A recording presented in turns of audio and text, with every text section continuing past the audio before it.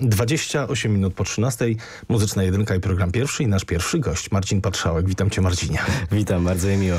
Przedstawiałem cię jako gitarowego wirtuoza, ale patrzę, że siedzi przede mną młody człowiek, niesłychanie utalentowany i wirtuoz zawsze pasuje bardziej do jakiegoś takiego, powiedzmy, bardziej nobliwego. Tak, już, tak, tak. do takiego... Z siwymi włosami. Do Tomiego i Manuela na przykład, A, tak? okay, okay. No. On siwych włosów nie ma. Nie, nie. No, dziękuję bardzo. No, ale, ale ty mimo tego młodego wieku jesteś szalenie utalentowany, jak powiedzieliśmy. Szykuje się twoja trasa koncertowa, tym razem po Polsce. Tak jest. Powiedz, co u ciebie w ogóle, bo zaraz tę historię twoją niezwykłą przypomnimy i w America's Got Talent i Tak z jest, tak Must, Be, jest. Must Be The Music tutaj w Polsce. Polsce. No ale rozumiem, że to nie były chwilowe wybryki. Gitara to jest twoje życie, gitara to jesteś ty, jak powiedziałeś przed sekundą. Tak, e, tak to właśnie wyszło. No, te talent show e, były no, takimi spektakularnymi momentami, że docierałem do e, dużej grupy ludzi i to laickiej e, grupy ludzi, bo jednak to, co tworzę jest e, dosyć niszowe, prawda? Jest to muzyka instrumentalna, taka no, trochę na pograniczu wręcz filmowej, ale zawsze gitarowa muzyka. I te show dały mi dojście do ludzi, w cudzysłowie, normalnych, Którzy by się w ogóle być może taką techniką, Tak mi się wydaje, nie, tak. zainteres- nie zainteresowali. Tak, i najważniejsze dla mnie było przekonwertować e, te osoby e, no, no, w długoletnich, e, wieloletnich fanów, prawda? W ludzi, którzy będą się interesować moją twórczością dłużej niż przez 5 minut w telewizji. No i dużo szczęścia w tym miałem, szczególnie w sferze internetowej. No a teraz, zresztą rok temu mie mieliśmy też trasę w Polsce, moją pierwszą trasę, którą całą wyprzedaliśmy, co było w ogóle dla mnie no, ogromnym sukcesem. Ja się nie spodziewałem tego. Teraz ruszamy chyba w cztery razy większą trasę. Wszystko mamy większe, wszystko lepsze. Także nie mogę się doczekać. To ustalmy, jesteś sam na scenie? Nie, nie, nie, nie. Towarzyszy E, ci zespół? Tak, tutaj, tutaj mamy bardzo duże możliwości właśnie zrobić show naprawdę potężne, więc ja oczywiście jestem na froncie. A, jakby powiedzmy, zwykle wokalista zajmowałby a, to miejsce, ale, ale tu jest gitara. I za mną mam fenomenalnych muzyków, e, kwartet smyczkowy, a, e, dwie pary skrzypiec, altówka, wiolonczela, e, fenomenalny perkusista, bardziej z takiego rockowego e, pokroju e, i basista. Także jest to taki no fusion skład, e, absolutnie nie wywodzący się ani z klasyki, czy z jazzu, czy, czy z rocka, tylko no robimy coś unikatowego i z tego jestem bardzo dumny, no, że ten show jest e, niepowtarzalny, myślę, w takich zwykłych kręgach. Marcinie, a powiedz trochę o tej technice, zwłaszcza tym, którzy być może nie mieli jeszcze do czynienia z twoją twórczością. To jest, e, można to określić jako ten finger style, jako taka... No ja, ja nie cierpię do tego, nie cierpię tego słowa. E, e, oczywiście no, moje, moje zdanie nie liczy się jak w słownikach to piszą, jednakże fingerstyle samo w sobie e, zakłada, że granie palcami to jest jakiś styl, tak? Mhm. Fingerstyle. To jest dla mnie jakaś abstrakcja. Przecież granie palcami to jest najbardziej podstawowa forma gry na gitarze. gitarze, to oczywiście. Mhm. powinien być pick style na elektrycznej gitarze czy coś. E, więc ja nie używam tego słowa, ale jeśli chodzi o no, już taką e, nomenklaturę, tak, o, o, o to jak się to nazywa w sferze gitarowej, to jest to fingerstyle, e, jest to perkusyjny fingerstyle. A, no ja bym jeszcze wrzucił pewnie jakieś, że modern czy coś takiego, no nie wiem czemu po angielsku rozmawiamy, ale na pewno, że jest to bardzo współczesne i bardzo eksperymentalne a, i ta ilość perkusyjnych dźwięków, które staram się wydawać, no jest naprawdę duża. To dodajmy, że właściwie tutaj oczywiście masz sekcję na tej trasie koncertowej, ale równie dobrze, kiedy sam grasz na gitarze, to jesteś sam sobie sekcją rytmiczną, perkusją. Staram się. Linia basowa również jest Oczywiście. grana i na tych, przepraszam, tak powiem naprawdę już kolokwialnie, na tych najcieńszych strunach Tak. e, grasz linię melodyczną, czyli właściwie jesteś takim człowiekiem orkiestrą, wypełniasz wszystko. No miło mi, tak, tak się właśnie staram, e, żeby do tego doprowadzić. E, Na, na tej trasie to też nie jest tak, że wszystkie utwory gramy w składzie. Są momenty, w których jestem totalnie solo i właśnie pokazuję w jaki sposób to jest możliwe wykorzystać pełny potencjał tego instrumentu, czyli gitary. Em, dla mnie to było tak, że przed tym jak się urodziłem jeszcze, bo jestem z 2000 roku, z 6 października by the way, e, No to już awansem najlepsze życzenia. bardzo dziękuję. Zanim się urodziłem, były, byli ci wszyscy Guitar Heroes, tak? Był Steve Vai, Joe Satriani. A wszyscy z lat 80. No wymieniasz moich idoli z kolei, ale tam raczej wszyscy stawiali na y, technikę i prędkość Ale właśnie gry. chodzi, chodzi o to, że był, to był taki moment, prawda? E, wszyscy chcieli być gitarzystami, każdy chciał coś takiego robić. Rock był na, na froncie, gitara była wszędzie, w każdej muzyce i to się skończyło. E, jak ja się urodziłem, to ja znaczyłem, że to jest koniec. Lata 2000 gitara w ogóle zniknęła. E, nie było ani w popie, potem hip-hop oczywiście. E, na plan B jakby, to nie plan B, tylko na, na, na tylny Na plan. dalszy plan, Tak, tak. na dalszy plan to zeszło. E, I teraz Myślę, że jest taka fala młodych gitarzystów na świecie, z Japonii, ze Stanów. e, Ja się staram im dorównywać e, tutaj z Europy, z Polski, którzy pchają ten instrument jeszcze dalej. Tak? Czyli to jest następny krok, który spowoduje, mam nadzieję, że ta gitara wróci na pierwszy plan.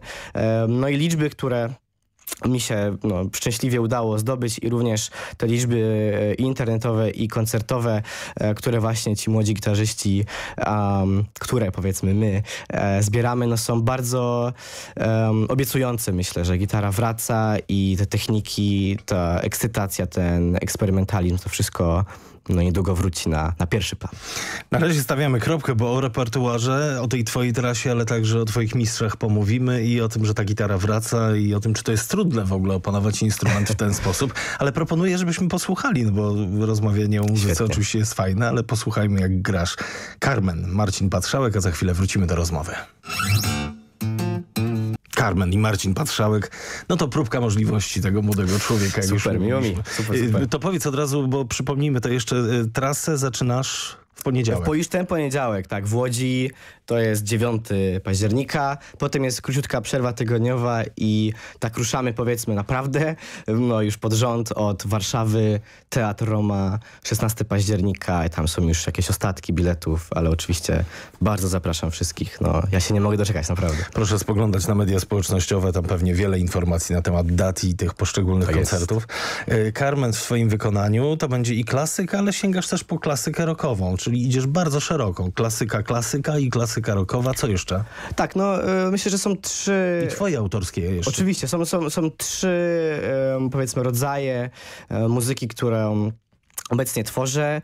Tak jak powiedziałeś, jedna to jest muzyka klasyczna, zaaranżowana przeze mnie, zwykle na, na gitarę oczywiście, ale również na elektronikę, bardziej w nowoczesnym wydaniu. E, czasem są to utwory e, popularne, tak? Zwykle jest to właśnie muzyka typu Kaszmir, um, tego typu rzeczy. rozumiem, tak, tak? Zeppelinów, Systemowy Down. Po prostu są to aranżacje, które no ja uwielbiam, e, te oryginały uwielbiam i chcę je pokazać. E, Jest to super sposób dotarcia do dużej liczb- liczby e, ludzi i pokazania właśnie, co ten styl ma do zaoferowania. Ale no, powiedziałbym, że główną Głównym moim celem i, i rzeczą, która mi przynosi największe szczęście jest twórczość e, oryginalna, twórczość własna. E, Teraz pracuję nad swoją właściwie debiutancką płytą e, z Sony Music. Właściwie to już zakończyliśmy nagrania. Zresztą wróciłem z Los Angeles niedawno po tych nagraniach i większość tych utworów będzie moja autorska. E, Tak jak mówię, no staram się nie patrzeć za bardzo na zasady i na to, co, co w gitarze czy, czy w muzyce instrumentalnej można, ale idziemy poza dziewięć kropek. Marcinie, przyznaj się, ile czasu poświęcasz na ćwiczenia? Pytanie musiało nastąpić. Musiało. Czekałem, aż nastąpi to pytanie. Możesz odpowiedzieć jednym zdaniem, bo jest to niezwykle ciekawe, jak, jak utrzymać formę. To już nawet nie chodzi o, Tak. Mm. o to, żeby no, doskonalić technikę oczywiście, ale jednak tę formę i sprawność palców należy utrzymywać, Tak. więc... o, No, rozumiem oczywiście, skąd się pytanie to bierze. Jest to, jest to dobre pytanie, ale prawdziwa odpowiedź jest taka, że nie wiem obecnie, ile ćwiczę dziennie, bo e, po prostu e, wstaję rano i rzeczy się dzieją, prawda? Może, może jakiś przyjdzie mi mail e, ważny i coś nagle muszę przygotowywać. Może muszę dokończyć produkcję jakiegoś utworu dla gościa, którego ma na płycie. I to się bardzo zmienia. No, jednakże może um, dla słuchaczy bardziej obrazowe jest to, jak powiem, że kiedy mm, e, byłem nastolatkiem, Teraz będę miał lat 23, ale kiedy miałem lat 15-16 i no bardzo na tej praktyce, na tym ćwiczeniu się skupiałem. Maksimum moim, absolutnym maksimum były 4 godziny dziennie. To był mój e, szczyt, a jeśli chodzi o ćwiczenie. Uważam, że dla mnie osobiście każda minuta już poza, e, poza tą granicą czterech godzin już była no, stracona. To już moje myśli były gdzie indziej, moje palce już były na podłodze zakrawione, więc taki to był mój szczyt. Teraz pewnie się zamyka to typu godzina, dwie, ale no tworzę ciągle, e, gram ciągle. No tak, bo to są te momenty, kiedy to nie są ćwiczenia typu wprawki, tylko krótko mówiąc tworzysz, tak? Improwizujesz na pewno. Stało się to e, oczywiście szczęśliwie bardzo moją pracą, tak? Ja e, to, co e, tworzę i również nawet te krótkie rzeczy, które wydaję na swoich social mediach typu Instagram, TikTok, a YouTube, I zasięgi masz tam ogromne, dodajmy. tak mi się udało, tak jest. E, e, to jest e, integralną częścią mojej twórczości, integralną częścią tego, jak e, jestem postrzegany przez ludzi. Dlatego, kiedy na przykład myślę, okej, no wsta- wstawiłbym coś nowego na Instagram, co sobie zaaranżuję? No i wy, wymyślam sobie, że a, zrobię to, albo nagram coś samemu, albo zaproszę Jordana Rudesa z Dream Theater, żebyśmy zrobili wspólny ten. To się staje teraz moją pracą na kilka dni. No i nie jest to ćwiczenie takie, że gram skalę C-moll czy C-dur, e, ale żeby to stworzyć, muszę wszystko zagrać i zagrać to lepiej niż poprawnie. E, więc ćwiczenia są ciągłe, a ile czasu to zajmuje, to już, już e, nie wiem, nie liczę. To mm, szczęśliwi czasu nie liczą po prostu. tak, tak. Pięknie powiedziane, z, gitar- z gitarą również. Y, Wspomniałeś o Rudesie. Kogo jeszcze z tej, z tej, z tej ekstra klasy światowej udało ci się poznać? Bo rozmawialiśmy przed sekundą Tak. na anteną, ale wątku nie dokończyliśmy. Tak. Byłeś u Stevie'ego Waja, u Steve'a E. Tak, tak. Byłem u niego w domu, znam go w miarę dobrze. Nie wiem, czy on mnie potwierdził, ale wydaje mi się, że tak. Em, Zostałem zaproszony przez niego, przez Steve'a Vaja, żeby wykładać na jego akademii na Florydzie w styczniu. Czy tak nowy rok spędzam? Nowy rok jest kosmiczny, bo też zostałem zaproszony, żeby zagrać na meczu NBA. E, tak, Ale- Phoenix, Phoenix Suns e, mecz, e, dokładnie 31 grudnia i potem lecę, żeby z panem Wajem się zobaczyć. No jest to chyba najbardziej oszałamiająca rzecz dla mnie, że powoli, oczywiście mam og- ogrom drogi jeszcze i pracy do wykonania, ale powoli ci ludzie, którzy wydawali się niedostępni, stają się właśnie Twoimi dostępni. kolegami niemalże. Em, no, tak, ja bym tak sam nie powiedział, ale na pewno są to ludzie, e, z którymi e, po prostu piszę, tak? Wymieniam maile, spotykam się.